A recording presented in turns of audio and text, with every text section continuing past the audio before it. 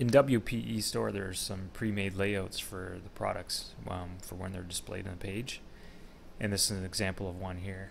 And you have the ability to change, and you can actually um, choose different different layouts. Um, the different options you can you can go through and take a look, and to get them to to display, what, what we want to do is first we want to go to um, WP eStore Manage Products, and then we can pull out the ID for the product we want to work with. So in this case, we're going to work with number five. And on the page, um, in the edit page screen for that product, we're in visual mode here.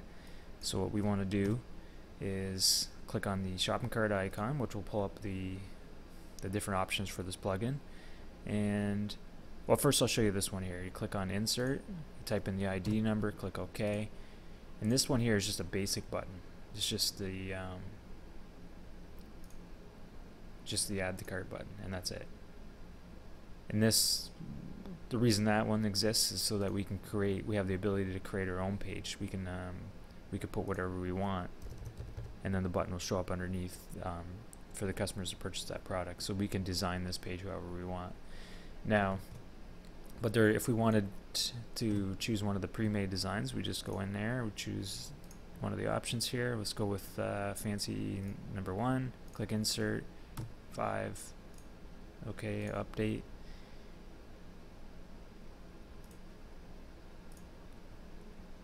And that gives us um, a pre-made layout.